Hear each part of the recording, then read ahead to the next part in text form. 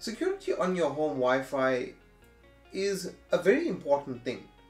But what tends to happen, we tend to generally set it up, set up a password and not actually worry about the actual security if our password's been guessed, if it's been shared and that sort of thing.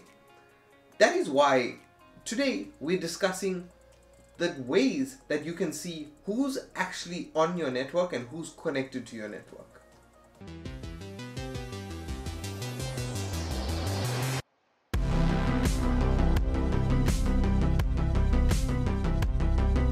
How's guys, what's going on? My name is Prashant, welcome back to Tech Scene ZA. You better make sure you subscribe so you don't miss out on all the awesome content that we put out. So for us, security is actually a big thing, but because of my laziness, I kind of let it slip and there was a sort of breach in security. And that is why I think it's important to make this video.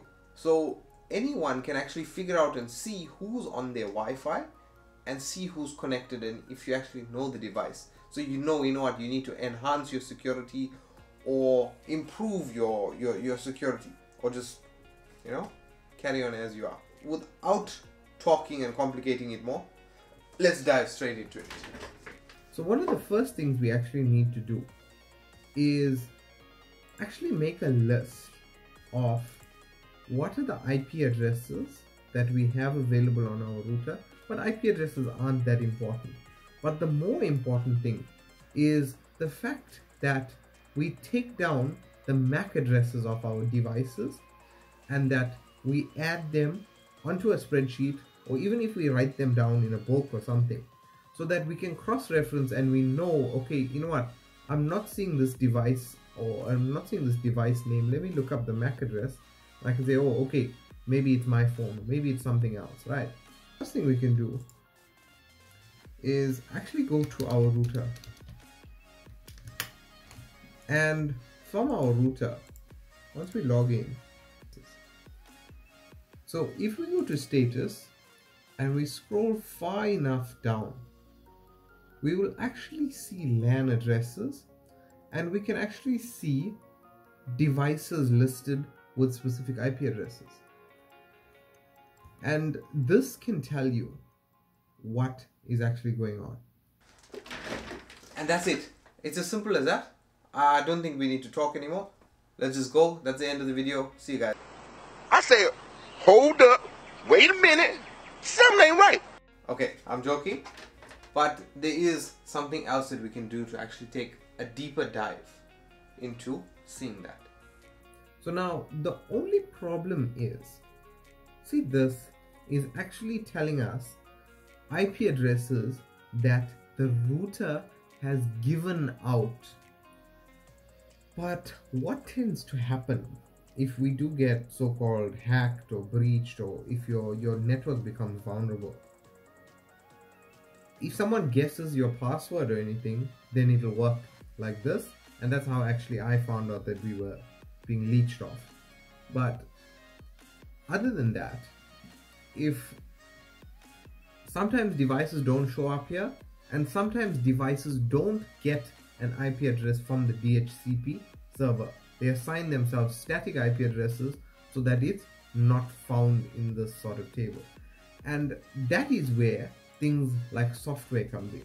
So from a software perspective, we have two pieces of software that we can use.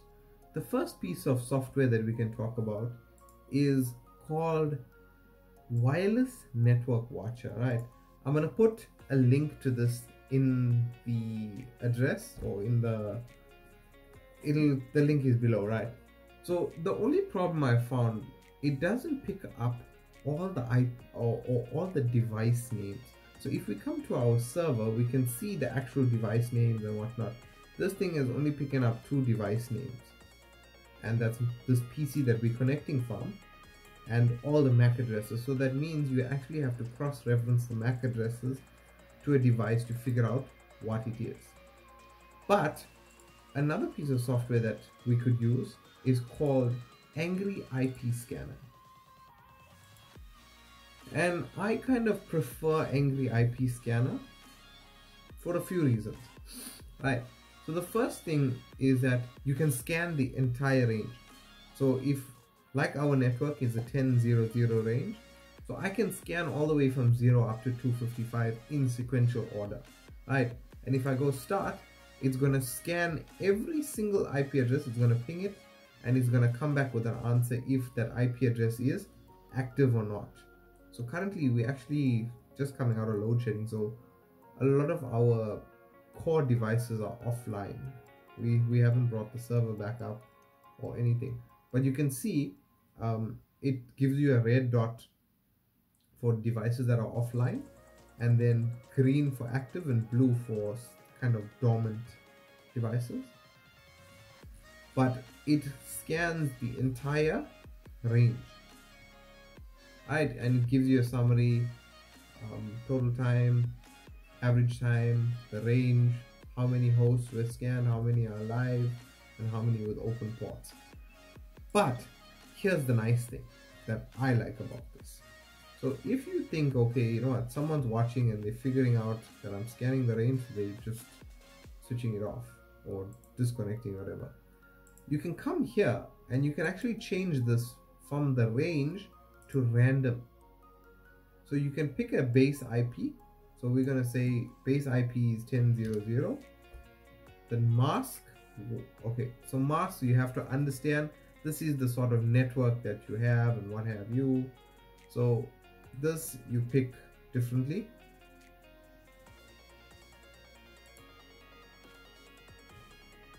And then when you, you can say how many hosts you want it to scan. And it's going to scan for 125 hosts 125 randomly.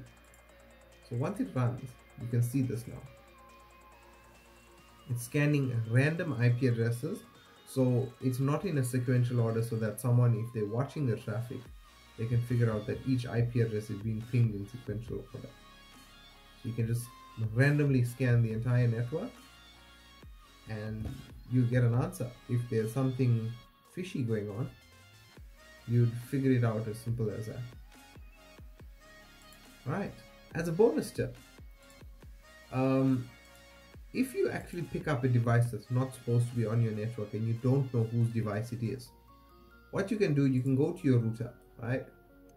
And you can look for a setting that is called, or it, it might be under advanced or it might be under local area.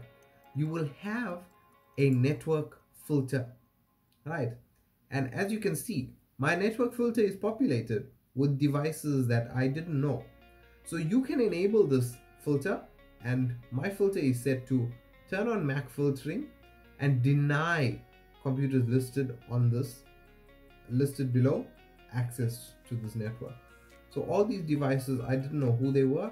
So what I was doing I just come here select a device plop it in and deny the thing access. Because I didn't know whose device it was. And that's all you need to do. If you are worried that someone's using your data, as soon as you pick up an IP address, and then hey, if it's if it's a mistake, say okay, I've done it. You can see there's one unticked here. This is actually our TV um, because I didn't actually update the uh, MAC address of the TV.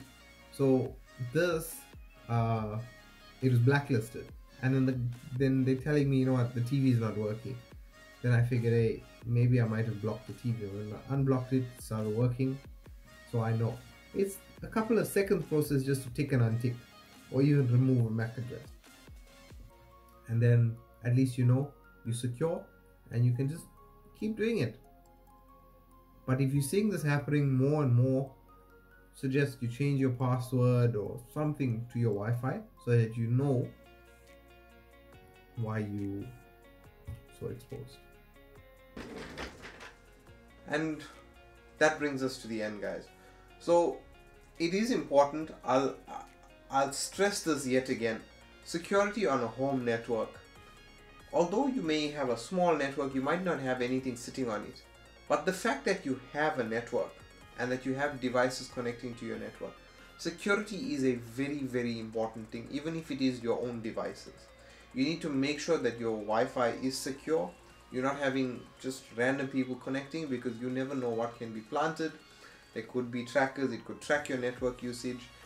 I mean, if you're paying 500 rand for an internet connection and you just get freeloaders using it, which we kind of experienced, it it makes you think like, what the hell is going on? I'm paying so much and I'm getting such a horrible service, but it's in actual fact that you are being leached, and when you actually want to use your network, the availability of the bandwidth isn't there. So that's why security is a very very key thing and it's something everyone should look at always on their home network.